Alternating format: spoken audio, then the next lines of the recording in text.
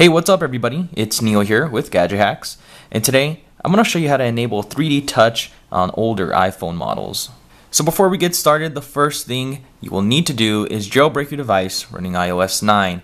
I know some of you cringe when I say jailbreak, but don't worry, we have a great guide over at gadgethacks.com, and the entire process didn't take me any longer than 5 minutes. So go ahead and do that first.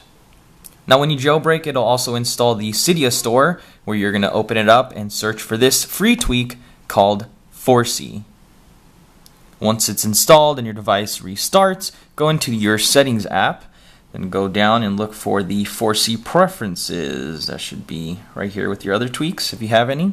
Now from here you can enable or disable it.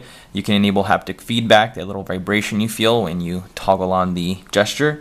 And then there's swap invoke method. Now instead of using the default swiping up on the icon gesture, there's another one that lets you tap and hold, which is a little bit closer to the actual 3D touch gesture. But Using this method will disable the editing mode. So if you frequently tap and hold on apps to move them or delete them, then toggling this on will not let you do that. But you can toggle it on and off whenever you want. So there you go. There's Force Touch.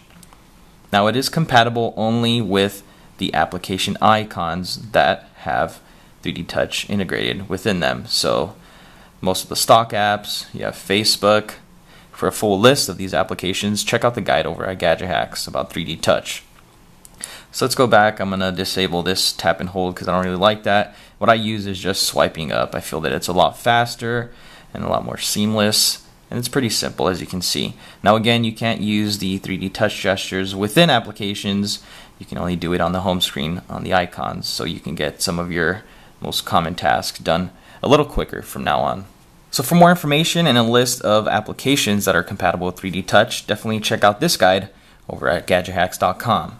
Also, don't forget to like, comment, and definitely hit that subscribe button for some more awesome and very useful Gadget Hack videos.